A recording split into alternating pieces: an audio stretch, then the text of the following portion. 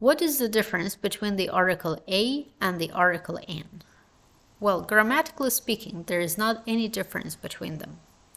They both have the exact same grammatical function. They both are used before single countable nouns.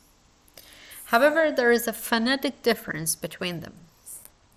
We use the article a before a noun that starts with a consonant sound. I repeat, a consonant sound, not a consonant letter.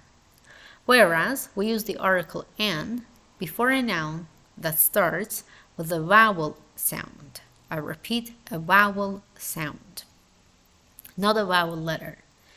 Now let's look at a few examples to see it more clearly. Book.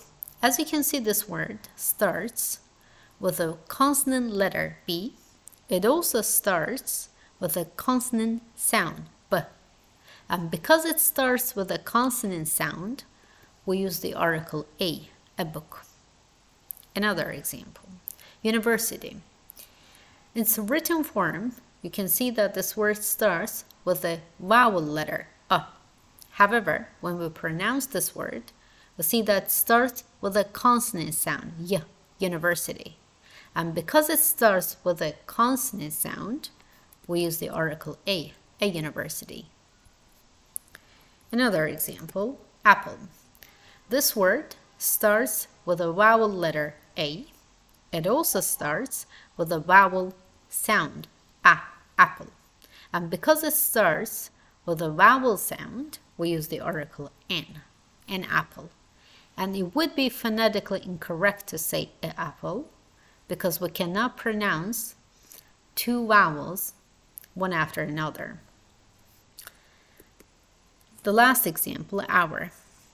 As you can see, this word starts with a consonant letter H. However, when we pronounce this word, we do not pronounce the letter H. Instead, we say hour. As you can see, the first sound of this word is a vowel sound, ah. And because it's a vowel sound, we use the article an, an hour. To recap, what determines the form of the article a or an, is the first sound of the word, not the first letter. If the first sound of the word is a consonant sound, then we use the article a. And if the first sound of the word is a vowel sound, then we use the article an.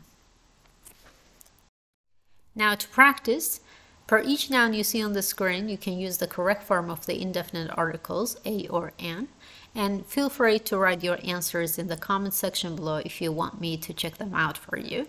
And last but not least, please do not forget to subscribe to the channel for more videos to come.